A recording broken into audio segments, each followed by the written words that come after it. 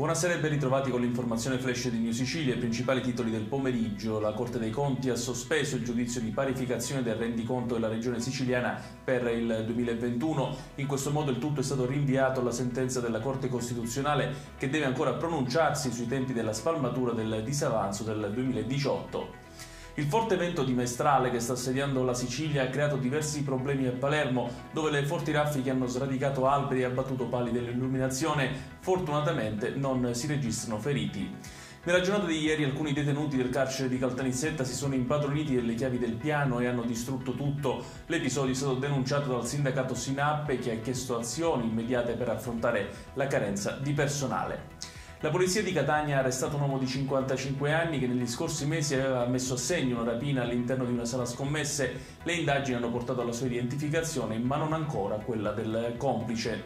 E chiudiamo con il meteo. Nella giornata di domani sole e nubi sparse si alterneranno in tutta la Sicilia, a eccezione di Messina dove potrebbero verificarsi ancora dei rovesci. Temperature in calo nei valori massimi raffiche di vento che dovrebbero invece attenuarsi. Ed è tutto per questa edizione. Tutti i dettagli su queste notizie li trovate sul nostro sito www.newsicilia.it. Grazie per averci seguito e arrivederci.